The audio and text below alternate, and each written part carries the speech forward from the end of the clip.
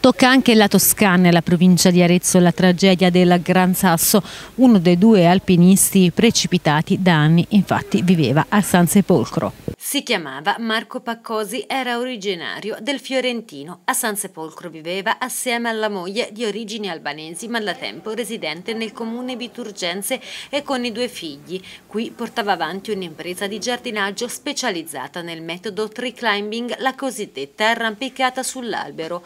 Per le strade del borgo lo ricordano come una persona riservata, dedita alla famiglia, al lavoro e alla sua grande passione, quella per la montagna e le sue arrampicate in incordata, passione condivisa con l'altra vittima, Luca Iani, 55enne romano. Tante le foto dei due amici pubblicate sui social che li ritraggono spesso assieme anche durante le scalate sul Gran Sasso, la stessa passione per la montagna che lo scorso sabato li aveva portati in Abruzzo per un'arrampicata. Grande è il dispiacere e l'emozione oggi tra le vie del borgo dove la notizia del drammatico incidente si è diffusa.